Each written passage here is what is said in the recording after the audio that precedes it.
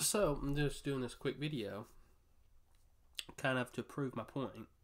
So I've got a argument with this guy on Instagram, talking about how he uh, he's saying Conor McGregor said it's only business. So we're gonna watch a clip. Uh, crap. Okay, here's one.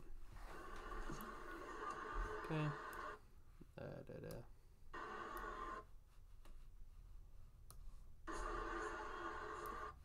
Okay, okay. Okay. You watch that. Clearly there's an edit there. You know why? Because it wasn't said in that round. Because he was standing at that point. That doesn't, you know, it's taking out of context. Okay, let's go to the point where it said it. Oh! Okay, so it's in a round where Conor McGregor won? Why would that make, how'd that make any sense? Exactly. It doesn't. Because he didn't say it.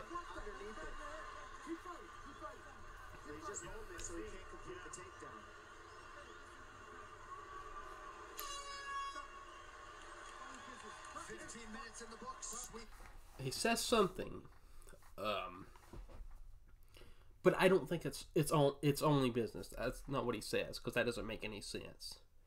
Now, of course, he was cheating there. Uh, even the commentators uh, were saying he had his hands in the gloves and stuff. That's what I think it has to do with how he Khabib was complaining, and Conor McGregor was responding to that. But I don't think he said it's only business. That is a myth. It's because of edits that you. Oh, he said it's only business. Khabib, in my opinion, I believe Khabib is a liar.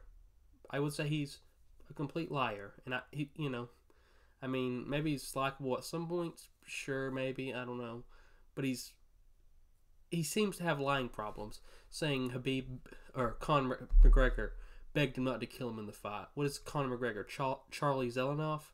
I don't think that happened. I think that's a lie. Doesn't sound very believable. I mean, maybe maybe he's telling the truth, and I don't believe it because it sounds so abs- absurd. Maybe, but something like that you know, even if it were true, you'd watch the videos multiple times because it sounds so crazy and unbelievable. Yeah, I don't know if it's true or not, but it doesn't sound true. Maybe it is, but he did not say it's only business. And Khabib is lying about that because why would he say it's only business after winning the round? That doesn't make any sense. Just a little rant here.